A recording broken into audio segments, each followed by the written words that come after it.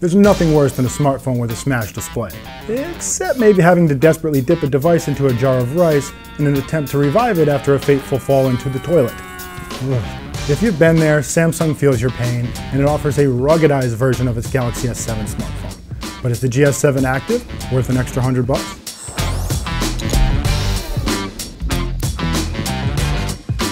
GS7 Active has a thick plastic bezel around its edges instead of the shiny metal that surrounds the regular GS7. The plastic is basically a built-in case, so you don't have to use any additional accessories for drop protection. The Active GS7 also has a protective polycarbonate layer on top of its Gorilla Glass display, which is designed to stop it from shattering. The device stands up to abuse admirably, though Samsung warns excessive drops can damage internal components.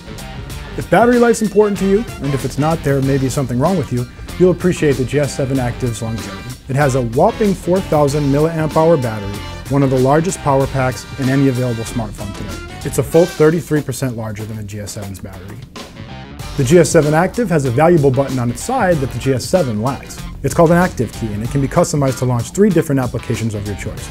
For example, a long press on the Active Key can open your favorite sports app, a quick tap launches your Gmail inbox, and a double click shows your Instagram feed. Both the GS7 and GS7 Active come in dark gray or black and in gold, but the rugged version is also available in green camo.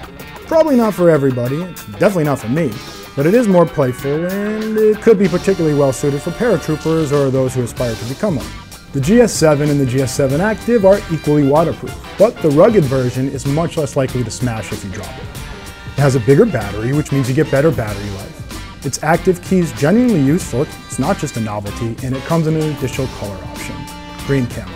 Unfortunately, the GS7 Active is an AT&T exclusive, which means if you're not an AT&T customer, you're out of luck. So while the GS7 Active is a little bit more expensive and it's really not as good looking as the GS7, the extra $100 and a few style points are a small price to pay for that added battery life and the extra peace of mind of knowing that if or when you drop your smartphone, your screen's not going to spider web.